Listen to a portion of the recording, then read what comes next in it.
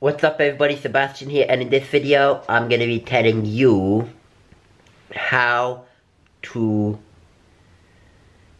stop stressing about your future, right? Now, this is something that I had, uh, like, and I still have to this day, okay? Where, when I, when I think about my future plans, right? I start getting anxiety, right? So for example, um, like me right now, okay, like once I start thinking very for long term, like I I I get really stressed. Okay, for example, like I'm like in my mind like, okay, hmm, okay, I'm gonna go back to Italy on Wednesday.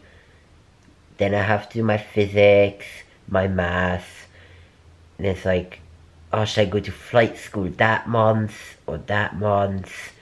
And then I, I want to do a, a trip to Russia. I want to go to New York City. I want to go to Berlin. You see? So it's like, when, when, when I like do this, and like when I like think in the future like that, there's like you get really stressed, you know. But the trick here is to take a step back, right? And realize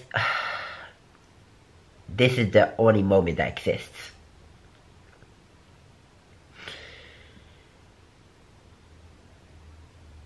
And it's it's not that we fear the future, it's that we fear we we fear the thoughts of not knowing what to do when that time comes you understand? For example what what what you're thinking what here okay today okay you're thinking about all of these future plans that are like one two years from now or even uh, four four three months from now okay? The thing here is that the reason why we stress is because we can only cope in the present moment. When that time comes, then we'll be able to cope in that present moment, you understand? So this is like, you understand what I mean? So for example, for example, okay, right now, let's say you have, you have an exam, okay? You have an exam.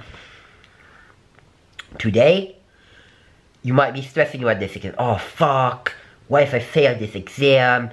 Uh, my parents will beat me up and I'll be screwed and my life will be ruined. But the thing here is, you see, when you do this, okay, that's just projection to what will happen, for example, tomorrow on the exam. Uh, let's say the next day comes, and you, you go to the exam. One day, oh, you'll be able to, to deal with the situation, you know?